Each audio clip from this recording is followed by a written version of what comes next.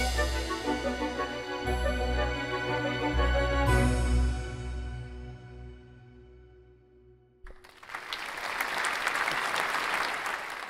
was 25 years old when I reached the top of Mount Everest. Standing on top of the world, I saw my life flash before me. There and there was the accumulation of three years of training and three years on the mountain itself. Despite strong winds and frigid fingers, I never felt more alive. I descended from the mountain feeling humble with a calling to be a photographer. My girlfriend, Hui Yi, announced my summit success with a blog 3,000 miles away. And I vowed to myself that one day I will return to the sacred mountain with her and perhaps our future children. I even told Kami, my Sherpa, that when my children are old enough, I'll make sure they help him with his farm. I got married to my childhood sweetheart three years later. And up to that point, Hui Yi has barely traveled outside Singapore and Malaysia. I, however, is an avid traveler. At age 20, I backpacked across Europe. I ate a baguette split between three meals each day. I slept at train stations in Paris, partied with locals under the bridge of Czech Republic, and finally I got robbed in Spain. There is a saying 读万卷书不如行万里路. Reading 10,000 books is no match for walking 10,000 li. I can't read that much, so perhaps walking is my antidote. My wanderlust rubbed off my wife as we went to Rajasthan, India, a place we've never been before for our honeymoon. And that opened our worldview. However, a new chapter in my life came when I held my day old daughter in my arms. I remember telling myself, she is so small and fragile. What did I do? And two years later, when my son, littler Chow, was born, I thought life is over. Part of the fear of having children was the fact that we may not be able to live ours again. Through my travels, I know the world is not an oyster.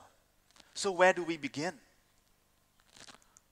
When my wife and I shifted to Beijing 10 years ago, the first thing that we noticed was the tremendous pace of change within China.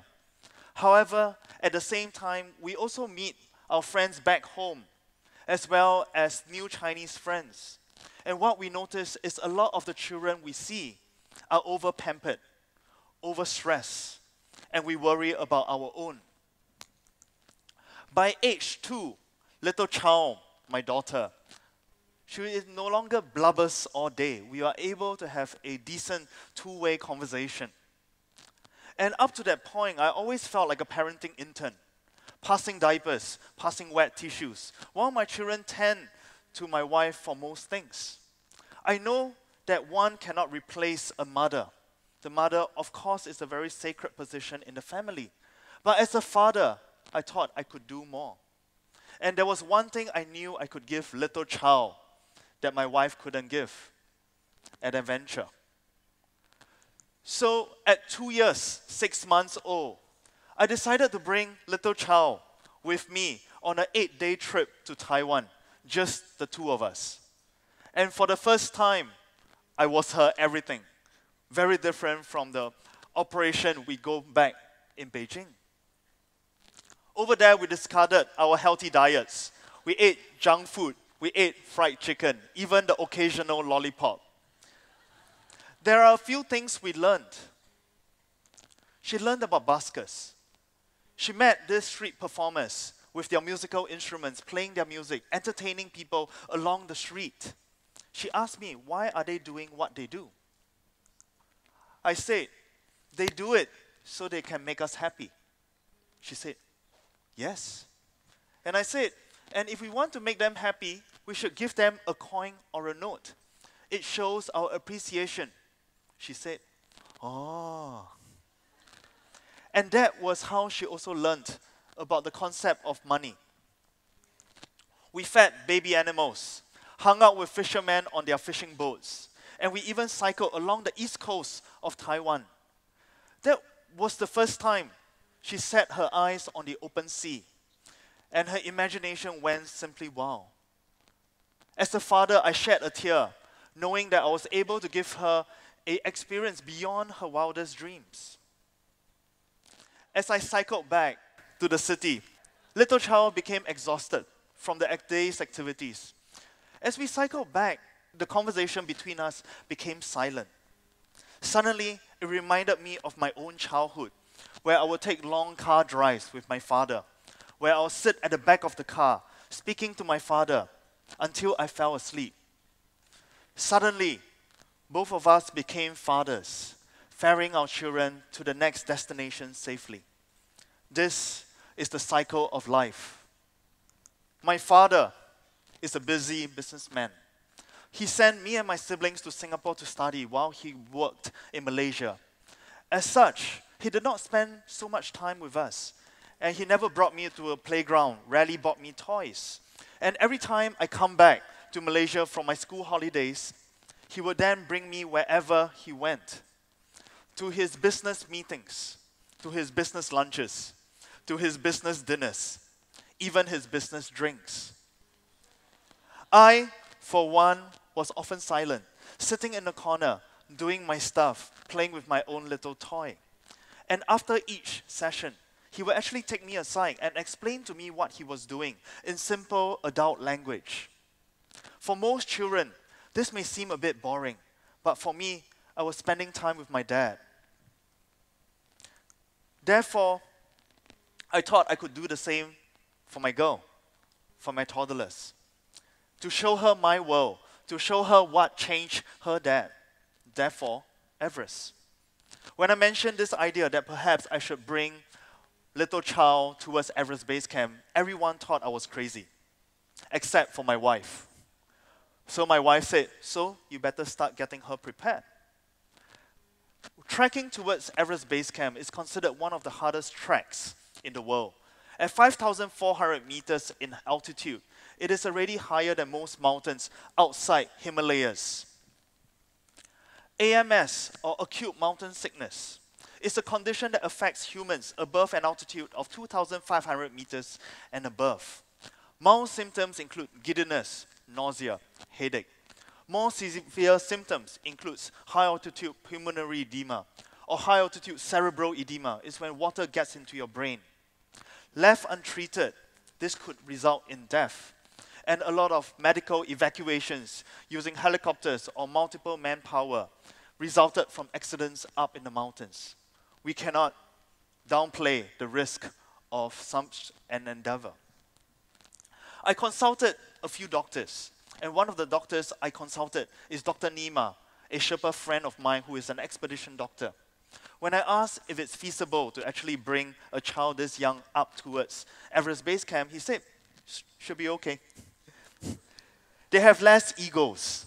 So at the first onset of discomfort, they will let you know, unlike adults who tend to mask some of their weakness. So as long as you're very observant about that, you can make a decision whether to descend the mountain quickly. And so we thought, let's get little Chow conditioned.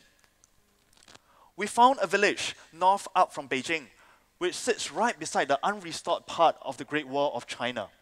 And that's we, where we started training. The Great Wall of China is very undulating.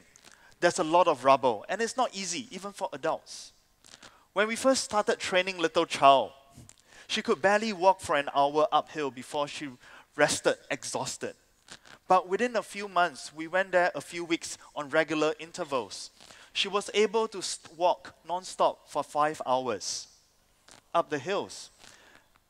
And this is no small feat. Because after all, if we were going to bring her to Nepal, I could carry her, but I don't want her just to be a passenger. She wouldn't enjoy the experience as much. Maybe to us, it felt like training, but to her, it is also fun. I don't really see myself as a coach pushing her to her limits each time, but as a guide to make sure her fun is safe. We are not just trekking, she is also looking at flowers, chasing sheep in the plains, and even observing the different textures on the ground. So, at three years old, four months, little Chow flew to Kathmandu, the capital of Nepal. She was about 85 cm and weighed 13 kilos. And for this experience, she would hike up to hikes around 4,000 meters in a world that is completely different from where she is. Little Chow is a city girl, and the first thing she noticed is the abundance of wildlife. Soon enough, she's able to tell apart between water buffaloes, mules, yaks, and zobkyos, which is a very beautiful crossbreed between a cow and a yak. Very often, she would imagine animals to be in animal books, but over here, they are just right there. So while me and my wife marvel at all the mountains above us and looking at the scenery, little Chow was keeping her gaze fixed onto the ground, and her imagination went wild. One of the things that truly fascinated her was the color and shape of dung. She would ask Kami, my Sherpa, where did this animal come from? Where did this dung come from? And she would dodge and be marveled at the sight of it because they look like seashells. On the second day, I let my family down. Even though this is a route I have traversed a few times, I took a wrong fork and we ended up walking more than 12 hours that day. We became totally exhausted. Little Chow remained positive. And looking back, I realized that when we found out where we got lost, we still felt very calm. And I think this has a mirror effect onto our children because if we were to feel anxious with a lot of anxiety, it will reflect the same for her. Getting lost and making mistakes for her felt part and parcel of life. As we gain higher in altitude, the scenery changes, and from there we also started seeing yaks majestic creatures with very long hair that only exist up higher in the altitudes. Suddenly, we have one baby yak jump in front of us, followed by two other baby yaks. A yak herder saw us and immediately saw little Chow and asked, Do you want to feed the baby yaks? And she did. Both animals and little Chow were totally charmed by each other. we reach an altitude of 4,000 meters, which is where the village of Kami, my Sherpa, lived, in Pangboche in Solukhumbu Valley.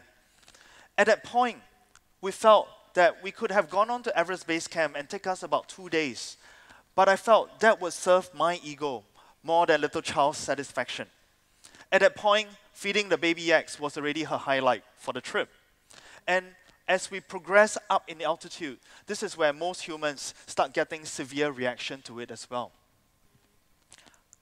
She adapted very well to the altitude during this whole journey. And one of the indicators is how well she eats at every meal. Generally, when you start losing your appetite, that's when AMS starts setting in. People often ask me, how did I feel standing on top of Mount Everest? It is not overwhelming happiness or a sense of excitement when I stood up there. I spent a total of 30 minutes looking around. The emotion that swept me that moment was relief. I spent three years, six days a week, training and being part of this journey. In the end, it wasn't my sheer ability and my mental strength to get to the top it was also the fact that other factors beyond my control were in place. My teammates, my Sherpas, were in good condition that day.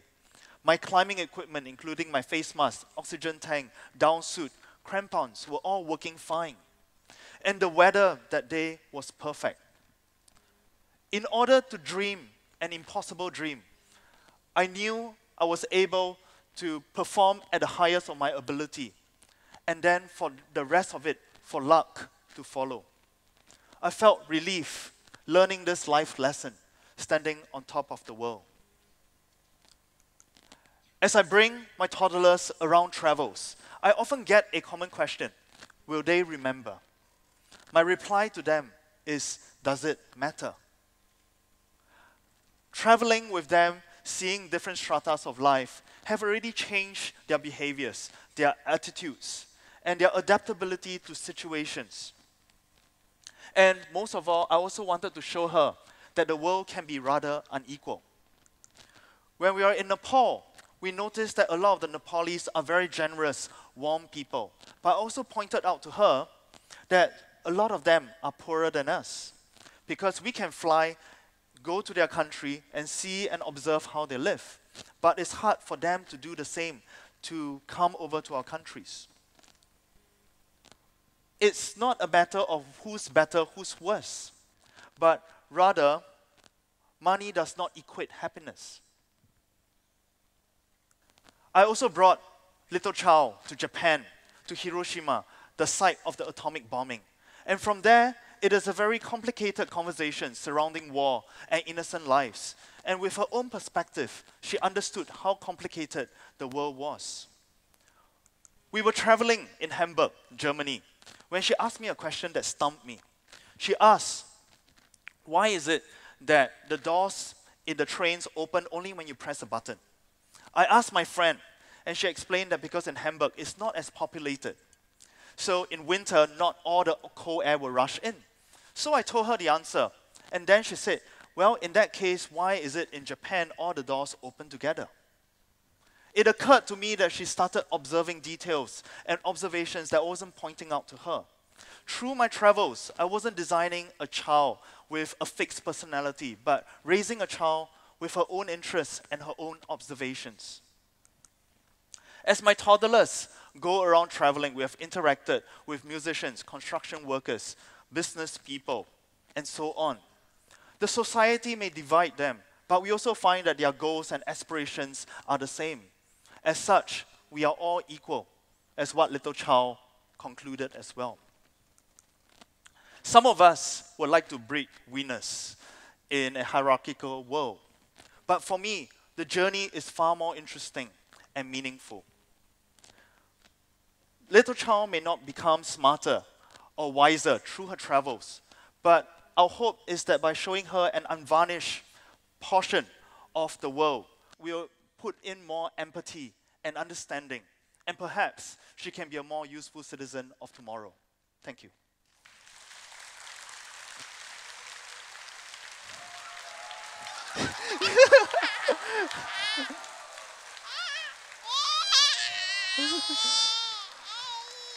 hello. Say hello, everyone.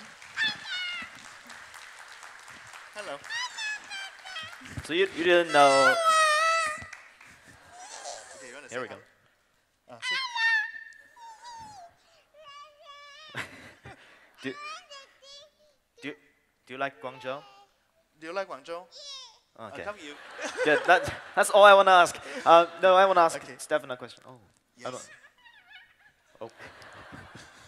Yes. So people might say they don't have the resources or have time to travel with their kids, right? Hmm. Yes. Um, what would you respond Um, to this? Yeah. I also didn't think that I have the resources and, and, and the time. And I realized that I think one of the most precious, uh, precious commodity, at least for this audience, is time. And I realized you don't have to take a long trip, but even a trip as long as two days or three days, being away from the city or the home where you stay, I think it's actually good enough because it brings you out of that comfort zone. And I think it really allows a lot stronger communication between parent and child. Right. Thank you.